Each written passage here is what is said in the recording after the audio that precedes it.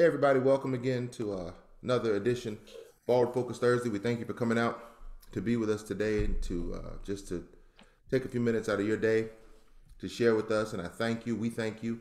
Uh, thank our team again, Brother Alan Lavender, Reverend Sandra Pace, Sister Letitia Frey.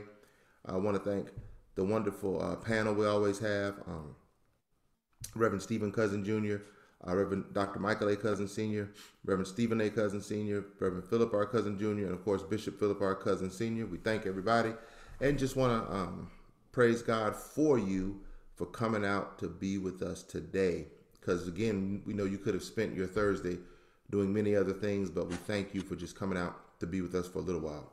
So as we begin, let's just as always bow our heads uh, for a moment of prayer. We always try to open in prayer. Lord, we thank you for this gathering and this time you've given us. We ask, Lord, that you would allow us to remember our mission, that this is Forward Focus Thursday. So we pray that someone leaves better than they came in and allows this to be the day that they decide not to turn back, but to move forward. In Jesus' name we pray. Amen. Okay.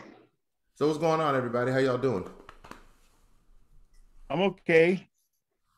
Everybody's good? Yeah, I'm I'm hanging in there. Just want to let you know that Stevie uh, gets his first um, COVID shot today, and so um, there's gonna be some press around it where kids are able to get vaccinated.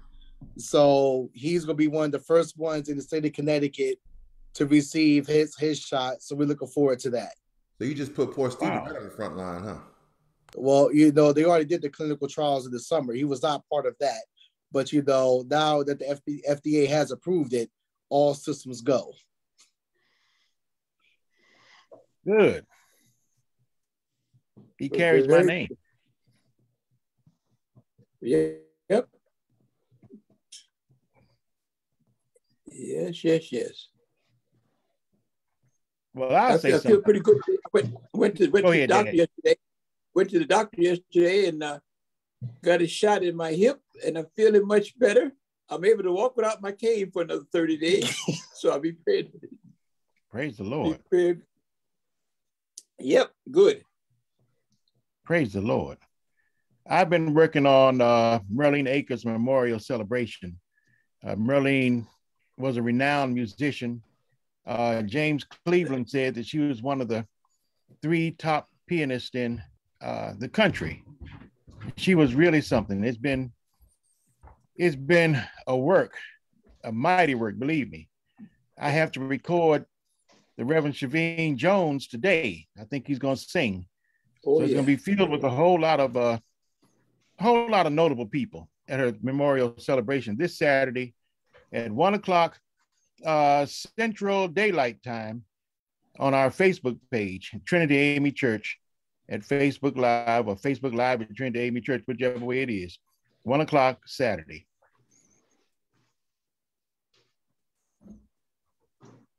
Uncle Phil, what about you, Uncle Mike?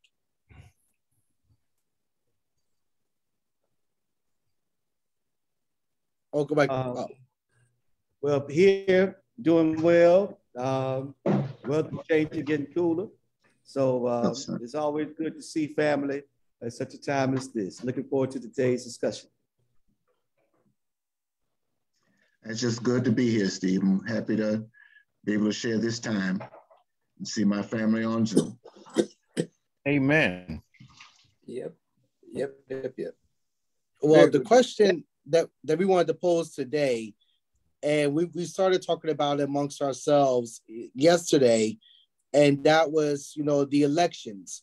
Um, some of the hotly contested or some of the more recognizable elections was the governor's race down in Virginia and then the governor's race in, in New Jersey, where we did see how a, a Republican actually took over um, the governorship in, in Virginia with Trump policy, so to speak, but a milder version of, of Trump. And the Republican almost overtook um, Governor Phil Murphy in, in New Jersey, where it was too close to call, even as early as yesterday morning, before they finally did call it for um, Governor Murphy, where it would have been breaking a 40 year tradition if um, Governor Murphy um, would have actually lost, where normally whoever is the president of whatever party, New Jersey always goes with the opposite party.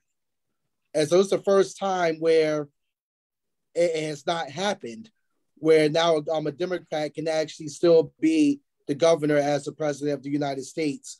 So I just want to get your assessment of what do you think about the elections, the topics, the trends, what was on voters' minds? What did you see play out in this election season so far? All right. Well, I'll be happy to, to weigh in because I was absent yesterday. But uh, the, the what the elections show about America is that, that the country is still very much divided and still very much dysfunctional. What they want to do is have now a version to present to America for the midterms and for the next presidential cycle of something I call Trump light. They want all the policies without the personality. But the simple truth of the matter is, you can separate the personality from the policy, but the policy is still the policy. And the country is still very much sick. When you get a jury that is all white and one black man to look into the wrongful death of a black man in, a, in, in America today in 2021, when you have people who Amen. ab- absolutely contrive notions that are at best inane and asinine as trying to give rationale for why they uh, they they vote a certain way and, and why they support uh, certain views when when all it is is is is different it's it's different ways of of, uh, of encountering language. All the all the critical talk now about critical race theory. Well critical race theory goes by another name too. It's called the truth. You know so you you you're, you're opposing the teaching of critical race theory? No. You are opposing the teaching of the truth because you feel it is too sensitive for the for the the little ears of little white girls and boys. But but America has got to to to start calling it like it is because nomenclature is everything. One six was not an attack on democracy. January 6th was an attack on America. People hear an attack on democracy and think some of them absolutely think that's an attack on the Democratic Party. No, the insurrection was not an attack on democracy. The insurrection was an attack on America. America is built upon a democracy. It was an mm. attack upon America. And if people realize that, more folk might line up with what is reality as opposed to these variants of reality now that are controlling American politics. Yeah, the, the, the, the fact that the Democratic Party controls all three branches of the government and can accomplish nothing speaks to the massive dysfunction in our in our system. When, when, when clearly in the Senate, you've got one woman who is thirsty for attention, and that's why she's holding out. And you have another senator from, uh, from West Virginia who is a Democrat in name only. I'll stop. But here's the thing: under un, under those circumstances, we're at the Republican Party. The first thing Trump would say is, "We're going to primary those people. We're going to we, we, we're going to fix it so they can't, you know, so they can't continue." But I don't know. We're just trying to be so nice. Democrats are trying to be so nice and so easy, you know. But you can't be nice with uh folk who are bent on destroying you. You can't be nice to them. You have to stand up, stand up to them and, and, and do what's right. I mean, that is, that is ridiculous. Manchin needs to go somewhere and sit down. He's not a Democrat. I don't know what he is. Uh, Kristen, Kristen Sinema, she's terrible. They need to go. That's all it is to it because we cannot go forward unless they get out. Praise God. I, I listening to, to both comments, I think that uh, you're right on point with critical race theory of being the truth. I think time is now that um, I was reading, listening to an interview yesterday with Trevor Noah. And he said he, before he took over as the host of The Daily Show, he would watch CNN, Fox, MSNBC, and everything else to try to get the news. And some of the writers told him, don't do that. So, because you're not getting news, you're getting points of view. But he would go overseas and get how we are viewed overseas. And uh, the news is boring, but it's factual. So I think what we see now is we're dealing with ratings more so than facts. Um, I'm not surprised with Virginia. It was 1967 before they were able to repeal the law that interracial dating was unlawful. Even when Brown versus Board of Education was passed, the law of the land, they still didn't recognize it in Virginia. So this, this is, you know, I think now that uh, that is something that the critical race theory help us to remove those things, those shaded, those shaded nuances of history. I think children now, we must give them more credit than, than, um, than what is given to them, because I think they are ready to accept the truth. You know, George Washington did not chop down a cherry tree and say, I cannot tell a lie. You know, I was reading an article today about Walt Whitman, where Walt Whitman, although he talked about leaves of autumn and everything else, he had a he, he, he had quotes about black folk that were just shameful. And so, you know, I, I think that with this, a good dose of the truth would help us and would give us direction that we, we, we will be able to have a serious dialogue and say, do we, do we live together as brothers or do we perish apart as fools? Uh, so we just, I mean, yesterday was just a gauge of one part, but not, but not necessarily the total picture. Um, thank goodness that New Jersey held strong, uh, held serve. And um, I think there is some hope in that where the Democrats have to get out and give a message and not be nice. You can't go to a gunfight with a uh, with a switchblade. Right. Right. And, so, you know what? That's a way of witnessing. How, how much? Right. This, how much of this also speaks to um, not you know obviously the the race racism and the racial undertones are in are in all of it, but how much of it also speaks to just the fickle nature and the um, the whimsical nature and the unsatisfied nature of of people. They're never happy. They're never satisfied. So we're gonna try this one. We're gonna try that one. We're gonna see about this one. We're gonna see about that one.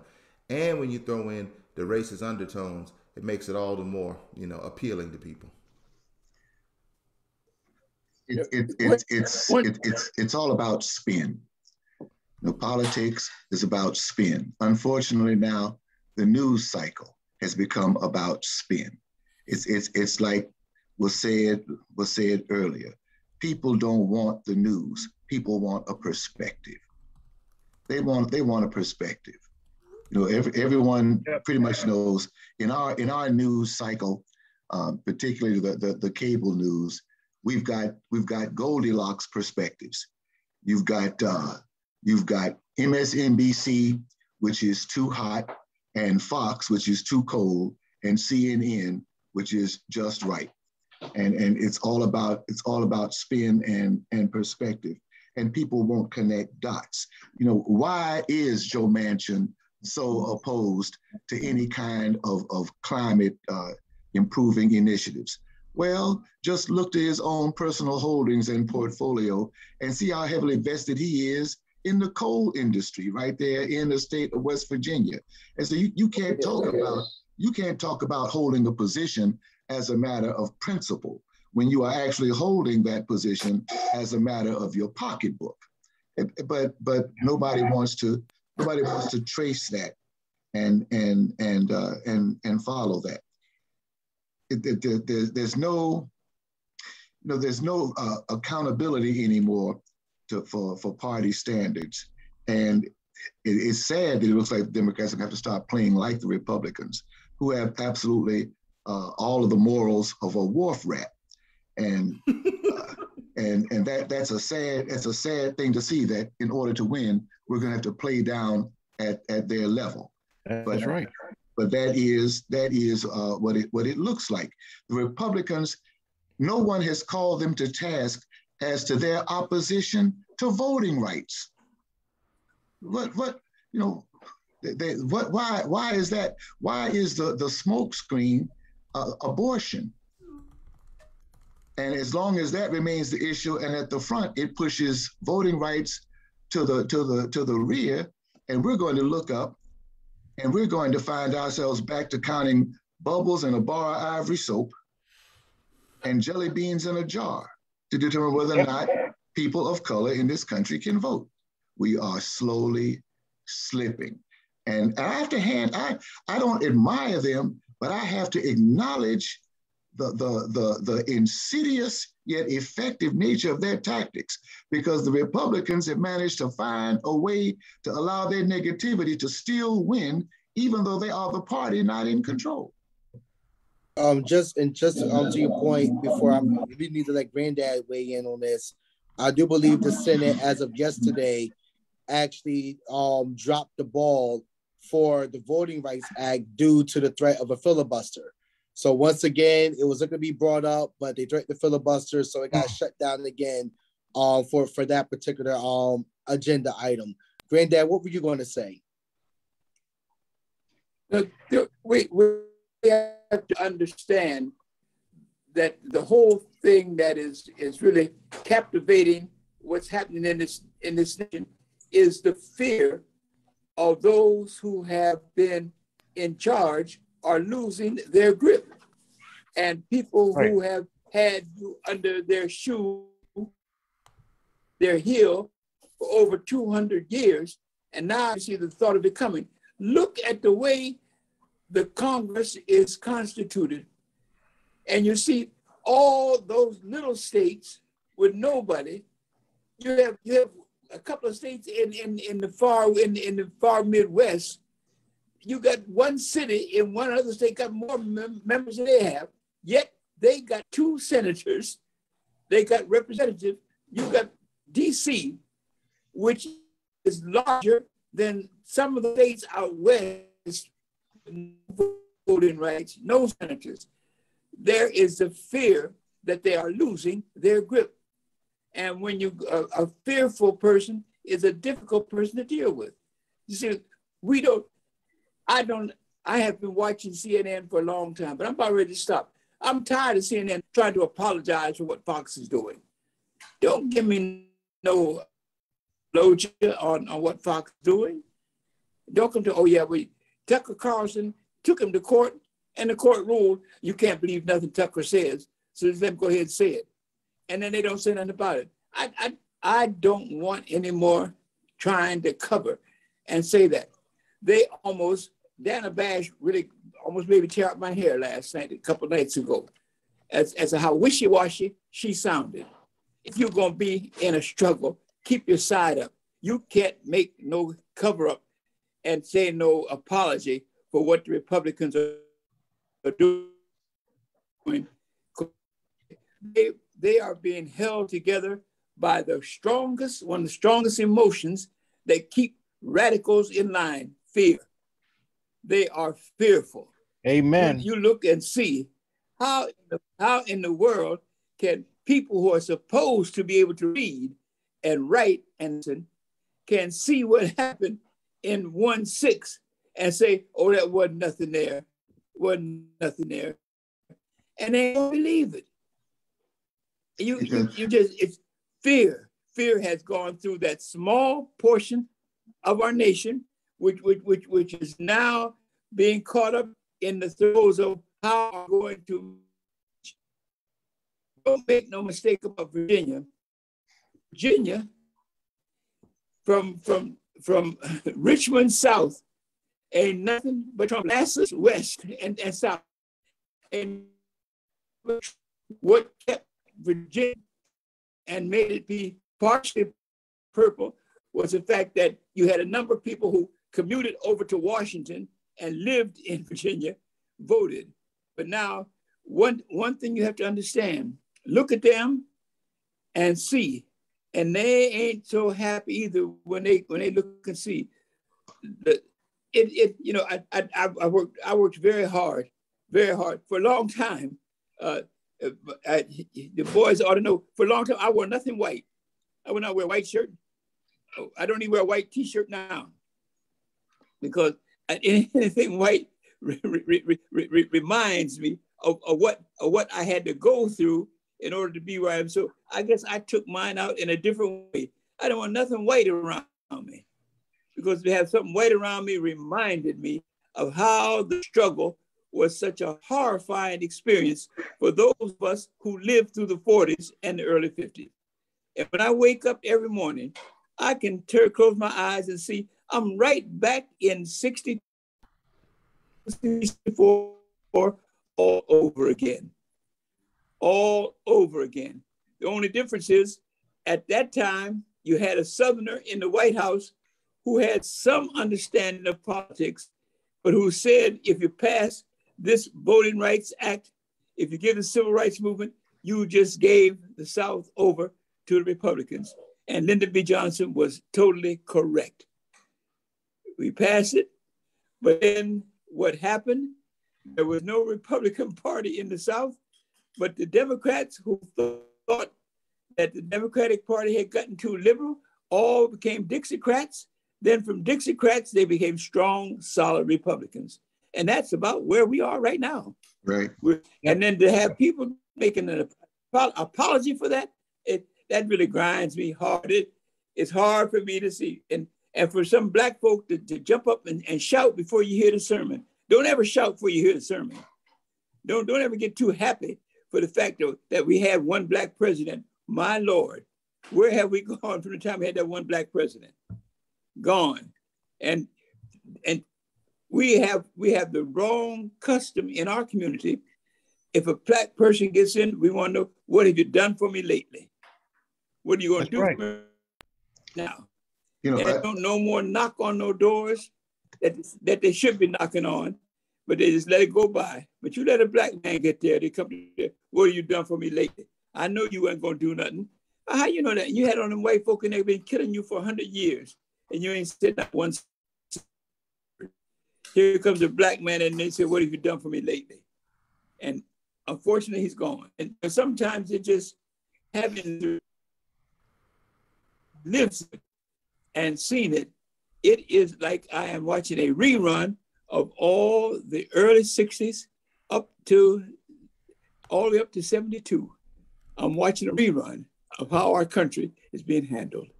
So let me let me ask this question. Um, in terms of the black voter, where we've seen, you know, in Alabama, where because of the black vote, they're able to elect the first um U.S. senator from the state of Alabama. Um, I want to say um Doug Jones. I think that was his name. It was Doug um, Jones. To Doug Doug Jones for to the to the Senate. We saw how you know because of our vote and our enthusiasm, we were able to get Barack Obama elected. Um, we saw how it was a black vote that really carried Biden into um, the 2020 um, presidential election. But why is it that it has to take under extreme circumstances for the black vote to really turn out? Where, like, right now, you see across the board, it was low voter turnout, and really the African Americans stayed home. Why is it that we can't sustain that energy year in and year out? Why is it that we only come to be the quote unquote savior or to rescue um, the Democratic Party? Steve, let me let me let me answer your question this way by uh, bringing to your uh, uncle's remembrance and your father's remembrance something that our father, your grandfather, taught us growing up. We it was a different time. It's not politi- politically correct now, but there was a time when a father had to teach his sons how to fight when they went outside, how to fight when they went out into the world. And I never forget, one of your grandfather's guiding principles was when you throw a punch, don't stand back and admire your work. You better follow that punch with another one if you expect to win. And that's the problem with our people in politics. We throw a punch and then we stand back and admire our work. You know, we don't we don't follow it up. That's why the the result in most midterm elections is a complete reversal of whatever happened in a presidential contest. If we win in a presidential contest, we don't vote in the midterms. Absolutely. That's right. Because we refuse, we, we simply will not follow up our punch. You cannot stand back and admire your work. But what I really want to add to the discussion is this. In American politics, uh, it seems by nature, it is circular in its logic. And, and one thing we can do to keep things real is to keep the logic linear. And that's to keep putting forth to white America. You may not claim to be a Trumper, but if you are a member of a party whose policies are racist, and you are a supporter of those policies, then by logic and by definition, that means you are a racist. And that has to exactly. that has to keep washing up on the doorstep of the Republican Party as it is constituted today. You are a racist policy. If you're a racist party, if your policies are racist and you support the party and its policies, then you are a racist. Because, because right now that would be the frontal assault against Republican politics because it, it, it, it it dredges up all the ire in them. The last thing they want to be called is out. And when you call them racist and call right, them right. for what they represent, what they support, you are calling them out. And that's keeping it linear. And don't don't and don't allow them to get into that into that circular kind of logic where where they literally mesmerize you into believing, well, no, uh, I, I don't support uh, voters' rights, but I'm not a racist. Really. Uh, I don't I don't believe that there was anything wrong with the peaceful protest that looked like it was just a, another tour of the Capitol on January the 6th, but I'm not a racist. Yes, mm. you are. And, yes, you are. hold their feet, hold their feet to that fire. There's a tweet out there, Phil, You've probably seen it, and it, it circulated around, and it said the people who threw rocks at Ruby Bridges for trying to go to school are now upset that their grandchildren might learn about them throwing rocks at Ruby Bridges for trying to go to school. That's good. That's yes, true. and that and that's the truth. And then and then I'm sorry. I, no, I, no, Mike, I, Mike, you you know this better than I do. I think doesn't the woman who uh, who um, the, the woman who accused Emmett Till. Yeah, Emmett, doesn't she live in Raleigh? I think she lives in Raleigh. Yeah. I think she lives in Raleigh, and even and even today, after she has confessed that she lied and and and and obstructed and in, in effect obstructed justice, no legal system will try to prosecute her, and she is very much alive. Yeah. You know, uh, HBO has a uh, special about, I think it's called Four Hours. It talks about the insurrection. And the buzzword they use, they call themselves patriots. You know, patriots, patriots. Uh, really, it's, it's, it's just a veil of racism um, where they, they go through, the, they, through a, uh, you know, a timeline of how it was planned, and there's a possibility there were some members of Congress who were behind parts of the planning that knew when it was going to uh, take place and how it was to take place. They called that a peaceful protest, and they actually beat one of the Capitol policemen. I think six of them uh, may have committed suicide or something to that effect because of the effects of, of, of, what they went through on that day. And they actually went through the halls saying they were going to lynch Mike Pence and members of Congress. Uh, and you had one woman from Texas. Here's the hypocrisy. One woman from Texas, a realtor, who went up on a chartered jet, talking about she was going to protest taxes. Those people, taxes, taxes, taxes. And they did some digging and found out she's guilty of tax evasion for the past five years, never paid taxes. So now it, it, it's it, the bottom line is, and you are right, it's, it's, it's for persons of, uh, who, who are used to being entitled and in control view themselves as losing control. Um, you know, how do you how do you deal with that? Well, you have to let folk know that we're all in the same boat. And we must work together in order to deal with those that are bound together by hatred. Um, I think the biggest problem we have is when we come together as a coalition, when we get in, when we achieve what we are supposed to achieve, then we start letting our issues be those things that start to erode and and uh, to divide us uh, in terms of what brought the coalition together. I don't watch Fox because Fox is uh, Hannity and Tucker. I can't watch them because they bring on black folk at certain periods, black conservatives who are just as confused as a June bug in the hen house. Uh, just to talk about stuff that's just so far fetched and but, make it seem like that they are the authorities of the black community. But and here, here's the problem, Mike.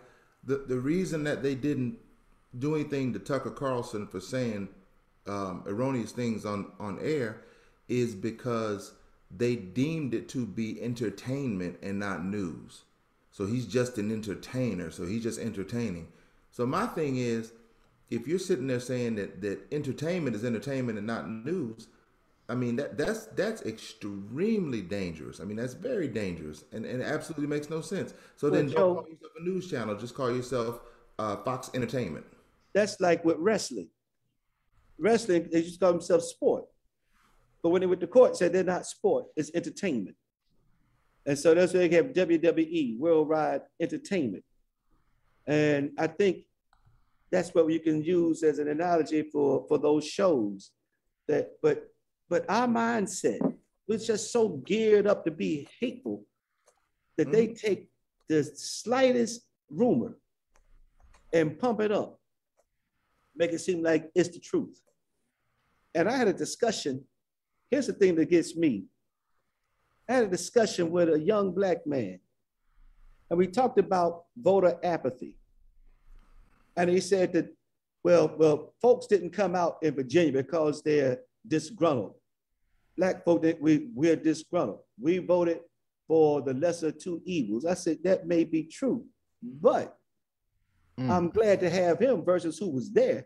And we got into the discussion. I said, I, I can't see myself not exercising a right to vote that persons died for. And he said, Oh, what do you see that uh, persons died for? I said, What do you think the freedom riders did? They knew they were going to be beaten, they knew they were going to be killed. They knew, look, look, look, go down to Montgomery, see those who were lynched because they wanted to register, not to vote, but to register to vote. I, I don't see it's, it's time for us to move beyond that narrative. That's, that's just, you know what? when we are quick to forget. I think that goes back to your point, Philip, where we throw a punch and we admire the work, but we don't realize the work is still to be done. Yep. And unless, unless we, again, the biggest problem, when we allow our oppressors to teach our children, expect to have similar outcomes from here on out from generation to generation. Well, that's what has happened down through the years we don't we, we don't we don't have an education the, in this country. we have indoctrination. You know, we have something called socialization. The, the problem I mean, I'm, is, I'm, I'm, go ahead, Dan. We, we, you you fail. You you you fail. You, you, you, fail to recognize the historical context. Uh, back to the patriot. Patriots were the symbols given to those who started and kept the Civil War alive because they were patriots for for their way of way way of thinking. Black mm. folk have been under the, the hard rain calendar canopy culture lock of thinking that once you got what white folk had, you were free and equal. And anytime somebody told, let's move on from this. One thing I, I I really have respect for Jews. The Jews ain't gonna let you ever forget what they went through. The churches. That's right. That's they, right. They teach it every. They, they're not gonna. They're not gonna let you forget who they are. That's but right. we got we, we got young black folks that say, let's move on. Because unfortunately, for a large segment of them still, and unfortunately, for many of the rappers, I don't have no respect for now because once they rap and get money and get out of this, they join the elitist white company. Look at every top rapper now. You go down the list and see where they are and see where they're locked up with. See who they're locked up with. They ain't locked up with nothing trying to bring no no no no no relief to the black community. You see where they're locked up. They're locked up with the elitist old white men, old white culture making money. And they made their money to get where they are to lock up with them. And so anytime I hear rap, I turn it off because I say, I know your rappers ain't doing nothing but getting money so you can rap yourself out of the community. A few rappers, one in Chicago, has respect for Chance One, One Chance, whatever his name is. He puts money back into the community. 99% of them take that money and use and lift themselves up by boats. Who was that? One, one from Atlanta went and bought an island. He could be by himself. What's his name? But bought an island out there where he could be by himself. And I, and I have no and I have no kind of contact with the folk who gave him the money to help him buy the island. We have to learn that, Amen. that the problem comes from most a lot of it from us because we taught them and them and allowed them to think anything other that if you get ahead, move up and get into the elitist class. And there ain't no black elitist class. The black elitist class is second, is second. The real elitist class is the white folk who got the money. Who was that? What what what was that comedian said? A rock. Uh, you got money, he's rich. You know, he, he, he, he's rich. You, you just got a little money, but he's rich. Now, Mhm. we, we, we talk about the problem. Problem is we have to change the culture. Why do black folk kill black folk? We ain't got no love for each other. Only thing we want to do is get ahead so we can be a part of the culture that does. And and this this kind of show that comes on that I don't watch of, we go- we gonna form our black gangs in a way that that that that that that that, that, the mafia had theirs formed. That's how we're gonna succeed because we even have our gangs like the mafia. My Lord, how much how much of an influence has it boiled over, especially to our young minds, that cause them to have the young man give you the answer he gave, Michael. Let's move on from this. Or move on from where you going. What Right. you gonna do? How far you going? Like it's like what Richard Pryor said when when when uh, when Jim Brown came to him. He's on the bed. He, he's laying there. He said to him, "All right, Rich, what you gonna do? What you gonna do? What you do? What you gonna do?" So I'm saying to the black community, "All right, now what you gonna do? What you I,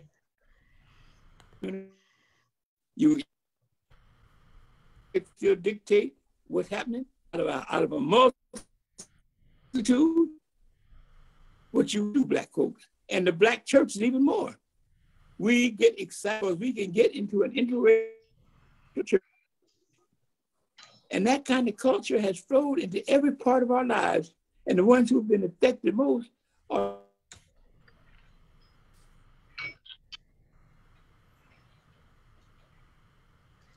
Well, my brothers know what they have to do. and, and save our grandchildren in the years to come. What are you talking about, Phil? No, when you get to uh, when you get to Chicago, you know what you that internet connection. Y'all know what you need to do. You know, one of the things that uh, the history of, of Durham, one of the, at the time, one of the premier neighborhoods for African Americans, Emory Wood. But come to find out that the contractor who built the houses I'm not gonna say it because folk from Durham watching, but y'all know what I'm saying. Yeah. That he made money off of all of us. And some of those houses, you know, same design and everything else, but he made money off of us. And, and I was listening to uh, Mickey Michaux, representative, uh, well, state senator and everything, uh, big uh, next door neighbor. He said that he went to him about that project, wanted to get in on it and to invest in it. But was pretty much rebuffed. But we still went with this man who made money out of everybody in that neighborhood. And um, the name, that name of Herndon has some history to it that um, has connections. My, my thing is, you have persons talking about reminiscing and waxing um, eloquently about Pettigrew Street in Hayti. But who killed Hayti? When we failed to support our own. Instead of supporting the, the shops and the area that was self-sustaining, the restaurants, we finally had a chance to go out to Northgate. We had a chance to go over to what the North Hills, Cameron Village. We had a chance to move away and to think that moving beyond Beechwood Cemetery was the country where you had no problems out there. And in the process, we really, really abdicated what we had established. I, I, I think that in, listening to what Dad was saying, as we look at others, we must now begin to look at ourselves and see how we have contributed to many of the problems that we have. Um, you know, some things we need to keep in-house in dealing with and not thinking that somebody else is going to clean it or help us to do it. We must learn to do it ourselves. I had another conversation with a young man in, in Detroit, oh, and he used to break in houses all around the neighborhood. I just, I was, I said, man, I, said, I pulled him to the side. I said, hey, man, why are you breaking in houses around here? Well, you know, most of the folk around here don't have anything, much of nothing of value in those houses. Why are you breaking them? You need to stop. And he looked at me, he said, You know, Pastor, you're right. My friends and I had that discussion. We need to stop breaking in houses around here. We need to go out to those big white houses out there, Farmington Hills, and start breaking in those houses out there. I said, Well, praise the Lord. At least you got one part of it. But, you know, we must be able to address and call, the call into account some of the things that we have contributed to by trying to turn a blind eye to. We have we have contributed to some of this stuff. And we must now, the only way we're gonna get out of it is if we're willing to come together and to work to clean it up and be united. I see other people doing it now, other cultures doing it now. We must be able to follow suit and to bring it a question and to call into question our direction and who will bear the blame, as Kool and the gang would say. Who's gonna bear the fault? I mean, who's gonna bear the blame? So, you know, we must hold on to that. You know, I, I remember when the road came through the community we lived in in Durham, in in, in Hayti. David and I used to fly planes all back there, and, and there were houses back there. But wherever black folk get together, and start to thrive, somebody's going to put a road through it, you know, do all kinds of stuff to just just to separate separate us. Yeah. And I and, and I've seen that too many times. I have a church in uh, Kansas City, Kansas. It was once a thriving community, all kinds of shops up and down the road, but they came to that call, calling themselves, you know, redeveloping, and they redeveloped us right on out of there. And that's that, that's what they do across the board.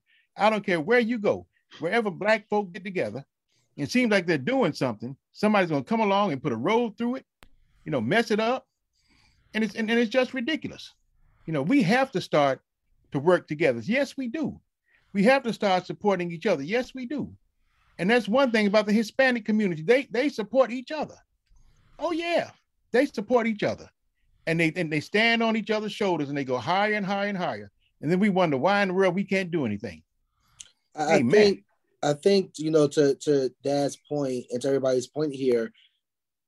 One of the things that we lack is is one thing to vote, but we're not civically involved in all aspects uh, of local government, where we don't show up for zoning meetings, we don't show up for board of education meetings.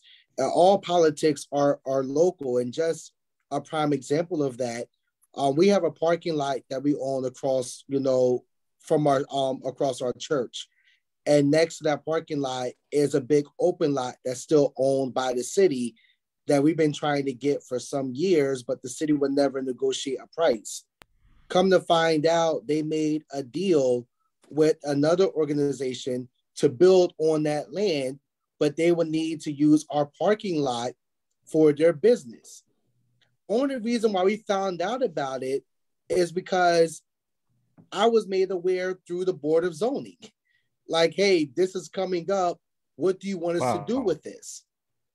And when we actually said, no, we don't want it, it got shut down. The problem with us is we're not really involved. And had not I was involved in the process or did not know about the Board of Zoning laws, or I did not know who was actually in government, that building would have came right up and we would have known nothing about it. So what I'm saying for us is one thing to vote, but we're not going to be involved locally in all aspects uh, of, of government, or we don't find representatives that we actually raise up and we train to put in these positions. We're always going to be having these conversations um, year after year in, in circles. So to Uncle Phil's point, it's one thing to just punch and admire the work, but how you continue to punch is don't just vote um, at your school or at your polling place, but make sure you show up to these meetings that do occur, you know, because it is posted. Hard time trying to find it, but you got to get involved to really make the changes that are necessary. And, and the involvement and the involvement is not as as as time consuming as uh, one might be led to believe. Uh, Steve, you make a good point about getting about getting to zoning, but on your way to going to city zoning, drop in city planning. Mm. Every municipality in this country has a plan at least 20 years out for what they mm-hmm. intend for that municipality to look like. And you can literally go into city planning and take a look at where the, the, the, the for lack of a better phrasing, where the, the, the mothers and fathers of that municipality see their city going 20 years out. And, and that's what affects wow. all of your zoning. Because the, the, the zoning does not occur haphazardly. Everybody coming in applying for a zoning permit has taken a look at the city plan because if, especially if they're putting in a business, they want to know if they are going to be putting in something that is going to receive enough traffic. And, and you, it, it, it allows you to follow, follow trends. And then you can see what happens, what the plans are. And in most places, when you start looking for the plans for black neighborhoods, you discover ain't no plans. You know, the plan is to get you out. Even, even when, when the gerrymandering of redrawing district lines, congressional district lines occurs, somebody's looked at city planning. It's all right if the and and you watch watch what happens watch what happens with with Republicans in Georgia when they start gerrymandering those lines of and start dividing areas where you have uh, heavily Black and people of color concentrations to, to affect the outcome of future elections. It, it's yeah. it, it, we we we we can't play the game unless we know the rules of the game. Because if you're trying to play a game and you're depending upon your opponent to tell you what the rules of the game are, you better believe you're going to always lose. You know, you got to you got to know for yourself what the rules of the game are. Well, how is this game played? And that and that is what and that is what we need to do. You know, I I, I I'm disheartened by Virginia's outcome on Tuesday, but I'm reminded Virginia was the heart of the Confederacy. You know, make make it whatever you want. But but the, the absolute capital of the Confederacy was in Virginia. So no surprise. That's true. I mean, you it moved it from Montgomery up to Richmond. Up to Richmond. And, to and when you look and when you look at, at Georgia and what's happening with, with Ahmaud Arbery, you know, Stone Mountain's still in Georgia. Stone Georgia's Mountain's still in still- Georgia. Georgia's still Georgia's Georgia still is still a Georgia. Klan stronghold. Still Georgia. It's still right. Georgia. Sad to say, That's but it right. Unless, And let's and lest we forget about dear old North Carolina.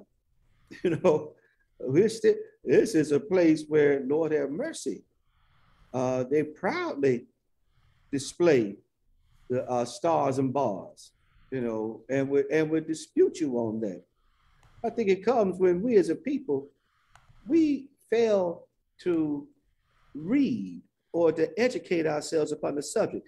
When Barack Obama was reelected in 2012, you saw 2015 disenchanted black folk.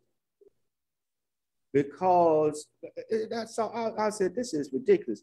Because they thought he was going to change everything. And one girl just broke down crying. I thought he was going to change everything i said does she not realize that that's just one part of government that it is difficult for the executive branch to do anything when you got people from the legislative branch sticking sticks in the spokes of the wheel of progress. And when you've got people, your local uh, governments, your state governments held by people who, who, who, who are just hell bent, bound, and determined. And this woman was just crying up a storm. I wish you would read a book and to, you know, as as as Obama said, don't boo, vote. Know about the issues. Get out there. Used to be a time you could talk about a party, but somebody said, no, you can't do that. You'll lose your tax exempt status. You this, that, and the other. But still, They do it all the get time. out there and educate, educate, educate. They do it all Oh, you're right, Joe. They would get on us about that, but those big, huge assemblies, you got those preachers in Texas that would tell you, I'm a Trump supporter, vote for Trump, vote for Trump. But you let one of us say something about uh, anything political, you're gonna have letters to the bishop, to the governor, and probably to the IRS. I, I don't believe politics belongs in the church. We've got to understand that this is something it's not good. It didn't happen overnight, nor will it change overnight. We must continue. The fight continues. The struggle continues. We can take a breather, but we cannot end the process. You know, so we've got to. I mean, we've got to. Just because they let you attend the University of North Carolina, don't necessarily mean you are accepted. You just tolerate it. Tolerate it. It's, it's a sad reality. So So that so if we're going to keep this forward, focus Thursday, I was just I was just thinking that, Phil. what can we do? What can we do about it? I mean, like Yeah, what like, like Steve Jr. said, um, you you know we we have to push involvement and we have to teach involvement, involvement at your your local meetings. I mean, go as far you talking about government. Um, even going to your homeowners association meetings, just be involved. Be involved in this stuff because it starts there. It starts Educate. there. Then it moves because that's where a lot of these ideas. A lot of these ideas are generated in the very neighborhoods in which we live at those meetings like that. People and Joe, it's funny you say that about homeowners associations because people need to check what the local laws are because in in most areas, your home can be repossessed if you don't stay current on your homeowners association dues. yes, Yeah, the- So the- let me, look when, when we I had a dispute with my last homeowners association when we lived in Michigan. Mike, you remember? Oh yeah, we learned. Because they didn't because they were they were just bad. They didn't do it. It was bad. It just was it, it wasn't, you know, we were paying this exorbitant amount of money. And so I didn't pay them for a few years. And um they couldn't they didn't do anything. They put a lien. So when I when I went to sell my house, I had to pay that before I could sell my house. So I had to pay them anyway. I was going to say, um, my wife, um, as, as y'all know, Dr. Christina, uh, she posed a question in the chat about what can we do as adults teach our children about civic engagement? And what can churches do to such at, at the end?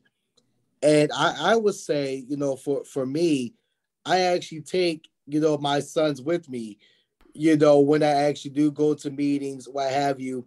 Um even about five years ago i served as a delegate to the um state of connecticut's um democratic convention and stevie was with me um he had to be no more than like you know three or four years old but he was there sitting with me as we was actually going through the process and people to this day still remember that so I, I think that's how you really teach them by actually let them tag along. Where Stevie goes with me uh, when we actually have lunch with the fire chief, I, I, I take him. Or if he wants to see the mayor, you know, at, at certain, certain events. So that's how you really get your children involved by you you showing up and take take them along with you so they can actually see, you know, what what's at stake. By example, you, I think we got the better example down there I'm going to say something that Phil will probably remember. That's what I was going to do it too, Mike. Midterms because I, I, I can still hear this. N is for Nick, Nick Galifianakis. I is for integrity. C is for Congress. K is to keep him there. Daddy was working with Nick Galifianakis and also with Shirley Chisholm in 1972 when she ran for president. And he would take us around with him in the car to the various precincts to see how the votes are going and was teaching us about yeah. having pride in the process. He taught us by example. I think it was a proud day for me at W.G. Pearson. They would take the gymnasium and put those rolling uh, machines in there. We couldn't play, but I knew on that day I was going to see Reverend Philip R. Cousin down there coordinating and making sure that persons were showing up to vote around that school and the precincts. I think the best thing is, and you and you learned that, Stephen, by showing by example. You can you can talk about it, but you got to be about it. And taking your children, showing your children, and letting them know that it is important. Why is it important? Because we've placed a priority on it, because it is it is something that is uh, that, that, that we cannot take for granted. Too much is at stake, especially now at this juncture of history. And, um, you know, I thank daddy for that, mama. I thank mama for that of showing. And, and, I, and I was able to teach that to my sons. And even on uh, days of uh, when they have elections, I said, did you all vote? Are you registered? Go vote. Exercise your right. I, I just feel I, I would feel bad if I missed a vote and I didn't I had a chance to vote, but I just said no, I, I could do something yeah. else. No, I, I I mean it bothers me. So I think that when we lead by example and teach voter education, um, and, and and to talk about the truth behind the so-called shaded truth, uh, that's one of the things, those are things that we can employ to help us move beyond to go forward. But you know Steve, what? Let, let, me tell you this, let me tell you this about your about your grandfather, even before then. He used to take us, his little boys, downtown when they were doing boycotts in downtown Durham. Yeah. And we would march with him in the boycotts back in the in the in the middle and actually the middle 60s he would march. And and I can remember once when one of the Klan, because the Klan used to come down and oppose the boycotts. One somebody, one somebody in the Klan called his children a name. And I want you to know that your granddaddy chased that man down the street at a dead run and ran and, and ran that clucker right on right on to somewhere else. Uh, you know, I, I remember, I remember when when when Daddy had that uh, that uh, that Delta '88 Oldsmobile, old Oldsmobile, gold and black, that was that was that was stopped one night by the police, and the police broke out his headlight and dented up his car. That was in Durham, North Carolina, and it you know it I I I came back behind him 16 years later and got the same death threats from the Ku Klux Klan in 1996 that he was getting in 1966. Nothing, you know, the the the the, the more things change, the, the more the, the more time changes, more things just seem to stay the same. It goes around and it comes around. And so what we got to do is keep it real. That's why don't let it go circular, keep it linear and call folk on it before it gets too bad. And we, just two things. No, no, just, just this morning, just this morning on CNN, I heard a Republican get him justifying, yeah, well, folk love the policies. They they didn't resonate with his personality, and, and that's something else. But they love the policies of Trump. The policies of Trump were racist. Okay, go. I was going to say two quick things. Um, number one, my earliest involvement was when when my mom ran for the um school board, and it was by like she ran as a slate, um, of six people. She was the only African American running, and of that slate, only five from her slate got elected. She was the only one left out. Uh, but I remember campaigning with her, but I knew she told me then what happened. But I also remember Granddad giving a prayer um, for Barack Obama um, at, at, Grant Park. And I had the privilege to actually stand by Grandma's side um, during that time. It was a special night. So I, I saw both ends of it where my mom was the first one who drugged me, maybe put brochures on, on doors for her candidacy.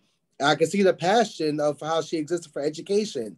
And I could see what granddad did, just his involvement and even you, Uncle Joe, you know, starting your own chapter for the NAACP um, in, in your church, and that you had your very first Freedom Fund dinner. And so I, I see everything how Uncle Phil served as county commissioner in, in Durham. Um, just to see your your involvement really inspired me to be the person I am today. You know, it was something at the Chicago annual conference that it was for uh, senator, the race for senate. And at the conference, there was a gentleman no one was talking to, but he was invited to come to speak. He was a member um, of Trinity United Church of Christ. He came. He was a sharp, polished person. He's standing against the wall. I can see, remember clear, clear as day. And the favorite candidate, who was a member of a church down in Southern Illinois, came and talked, and everybody talked. And then this candidate came up and daddy introduced him and said, here's a young man that's going, you know, just coming and seeking this office. I think we should give him the same courtesy of speaking to us and letting us know. And I invited him here and they and he announced his name and folk the draw that jaws just dropped because his name sounded funny. Barack Hussein Obama. And he came and he spoke for five minutes, told a joke, you know, and was his, his personality was such that he was able to grab us and you could see he was he was educated. And as he was walking out, I managed to shake his hand. I said, brother, you got a tough way to go with a name like Hussein. He just he thought that was the funniest thing in the way. He just cracked up laughing. I said, I can get down with somebody like that. Now, the thing is, I, I appreciate the fact that Daddy took time out to show us, you know, it is important to be involved in the process because it just so happens those persons may be elected, and those are the persons who are going to chart the course of this country in which we live in. And so I think it is something that we must continue to teach our children and I praise God for raise, being raised in a house with, with teachers to show you the, the, the necessity of, of education. Mama telling us, uh, Mama, I need to know how do you spell this word? She pointed the book. Go get it yourself. I thought that was the coldest thing in the world. I said, I hate it. I'm cuss under my breath. Oh, you know it. You can give me the answer right now. There's a dictionary. We got all these dictionaries here. Uh, you know, go get that word and find it and sound it out. And that right there taught us in order to learn, sometimes you got to get it yourself. Mike, you know, you know what's funny? Right now, Miriam and Joe get on me because every time they ask me a question, I tell them, Google it. I mean, it's just, I They mean, say, that's the tell us thing to Google it. everything. Just Google it. Google it. You got to get it yourself. Yeah. And so that's what I think we've lost that. We want everything given to us, but learn to do it. If you have it, you know, someone said, Reverend, what will happen to your degrees if they burn, if, if the building burned down on the wall? I said, it doesn't matter. I got it here. I got, I got the information here. And so I got it for myself. That's just, that's, as KRS one would say, that, those are just receipts of the education I paid for. They're just receipts. But I have it here. I'm able to articulate. I'm able to rationalize. I'm able to formulate. I got it for myself. And we must teach our children. Wait, and, and as we, that's a good note to close on because I'm, I'm gonna say this. This is for Dad. Dad, who'd you get that quote from, Yeah. Mike? KRS one, What Boogie does Down KRS Productions. One, what does KRS One do for a living? He, he, he is a, he is an activist and he is one, an educator. And how do Knowledge you rules supreme. over nearly everyone? Rapper. That's right. That's right. That's right. Not You know, all the rappers are BDP, Boogie Down. Productions. Amen. Cash rules everything around me. That's another acronym for another phase of it. You know, Cream. But see, uh, you Dad, know, not not all the rappers are bad, Dad. KRS One, you would like him because he he is he he's he's he's a deep thinker. You got some not not these new some of these new clown people. I'm not gonna go into that that are out now. I'm talking about KRS One and and Rakim and dare I say Steve, even Sean Carter. You may know him as Jay Z. I mean, they, they, some some of the whatnot. Jay Z was one dad in, in in his latest Where- rhyme or, or one of the later ones. Where, where, where's Lil Wayne? Where, where's Lil Wayne? I, Oh, Lil I, We- Wayne we- We're not, comes we're not, we're not gonna talk about that. We're not I talking don't about. Lil Wayne. You're not gonna talk about that, Steve? Now, we're not going, we're Wait a not going minute, to wait a minute, discuss wait a that. minute, Joe. Wait a minute, Joe. You got to give props to the ones that that that, that really started it, man. Talking about Grandmaster Flash, Melle Mel, Kurtis Blow. Treacherous Three with Treacherous Cool Three. Moe Dee. Uh, you got to talk about the Furious Five. You But- know, but you know, what- but you know Afrika Jay-Z? Bambaataa and the Zulu Nation. That, that that is another topic for another day. But I will say, Granddad, it is a it is a one chance. Is Chance the Rapper? That, that's all I will say. That's the rapper, that's right. It's Chance the Rapper from Chicago. Jay Z said, Jay Z said, and I'm not going to use the word he used, but he said, you let these blanks come in the Capitol and put their feet on the desk and act like it's theirs, and you get on me for what I do. so, Right. but And, look, then- and and think about it. One of the greatest rappers. Let's bow our heads. Hawk. Yeah. So some would say Biggie, some would say Biggie, Oh. but once again, so the convers- yeah, that's the conversation for another day. But hey, which, hey, which one am I? I ain't mad at you. I ain't mad Biggie. at you. All day long. So look, at we gonna we gonna go. But one thing I want to say, um, my my party. it is. all this- Go ahead. Thanks everybody for coming on Brother today. had a baby. Uh, what else? We're talking about. Huh? Thanks. How do you like it? Oh Huh? Lord Jesus! You got, thanks everybody for, for coming down for, for coming on with us today. Uh-huh. Um, How do you want it? happy November the third. It is November the third now, I do believe. Hail Mary. Happy and and Michael, what does November the third mean for me, Michael? November. Oh, today he gets his booster. No, not that. What can I start doing today? After after Halloween. Oh, Well, um, it, it, it, it's more Monday, December third, it's the fourth. listening to Oh, it's the fourth. Christmas Today's the music. fourth. November Christmas fourth. music.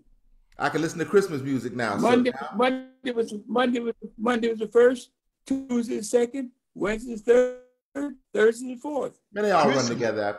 After a while, they all run together. It don't much make Christmas music. Joe listens to Christmas music, and I wouldn't be surprised next week if he doesn't have his tree up.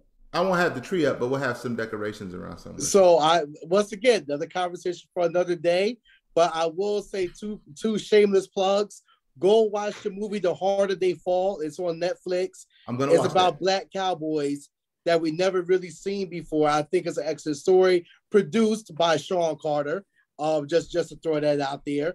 A very good movie to watch. All star cast: Idris Elba, Regina King, um, Jonathan Majors. So I'm just letting you know. Yeah, I'm just saying, like it- it's a great show. And happy early birthday to my mama. She um her birthday is tomorrow. My uncle Cindy is today. They're fraternal twins, but they have two separate days when they celebrate their birthday. His is today, my mom's tomorrow. So happy early birthday, mama. Love you. That's nice. Let me let me let me let me tell you this, Steve, about about that. Why why they should do that? Why black folks should watch that?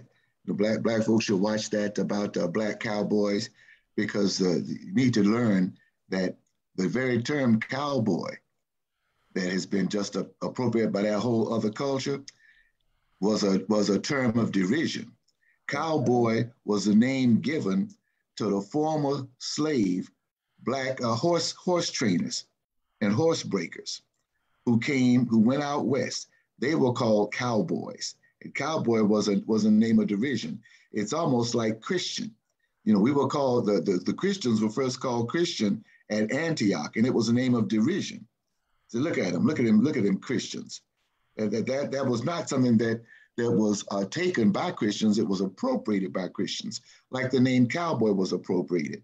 And when you watch that movie, there's a movie also out, I don't know what network it's on now, but watch the movie about Bass Reeves, who was the who was the first black marshal. Yes. First black marshal, the, the, the absolute model for the Lone Ranger. Yep. Was a black cowboy named Bass Reeves. Yeah. Former slave. Okay, that's that. That's my uh, addition to your. That's my addendum to your shameless plug. And uh, I want to thank uh, all of you for allowing me this opportunity to be with you again on this Forward Focus Thursday. I want to thank y'all for uh, for today's discussion. Uh, remember, the struggle continues, and whenever you need some inspiration, I, I, I would I would suggest that you listen to some Parliament, Funkadelic, Chocolate City, you in my you in my you in my lane now. Yeah. So you know what's happening CC, and uh, tell you about you know as George Clinton says, you don't need the bullet when you got the ballot. Are you up on the downstroke CC? So that's what I give to you all today: peace, love, harmony, and uh, let's continue uh, to push on and move forward. Uh, Uncle Joe, I got you beat November 1st. I listened to Mariah Carey's um, All I Want for Christmas Is You. So um, I already started listening to Christmas music already. November 1st already started. That's because I raised you. Thank you. That's why. Thank you. That is why. And I did a phrase, good job. I think the phrase you're going to hear a lot this this this season. In my mind, you know, there it is. That's it, boy. Merry Christmas. There you go. So get right. I, I, I know we hear that about a thousand times. So get ready. Uh, I know Joe's gonna play it, so I'm getting ready for it. Well, but here's the thing. My wife won't let me play Christmas music around the house until the day after Thanksgiving. But Miriam, Joe, and I listen to it when she's not around and in the car and everywhere else uh, right now. So it's, it's a little running joke we have in the house. Y'all ought to quit freezing Nicole out of the Christmas celebration. She don't want to celebrate. She says it's not time yet. Look, yeah. she just, she just, she just. I, I hope that all, Thanksgiving night, I, not a day earlier well, in, in, in preparing, I, I hope that all we've discussed today, one thing I would urge us to do, do what you can in your local church situations to make certain that the local church always will be a forum for bringing forth the ideas and hopes and expectations for the community.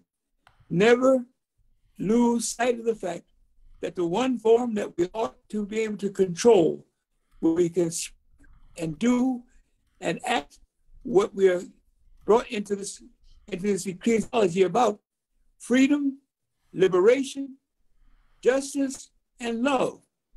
So make sure you keep this local church as a forum for that. You want to close out in prayer, Dad? Gracious Master, we thank you for this for this time. Thank you for this day. Keep us strong. Keep us in your way. Never let us stray right nor left. Keep us center focused. Might move forward and hopefully come to the point where your kingdom be all over the world. In Jesus' name, amen. Amen. Thanks, everybody.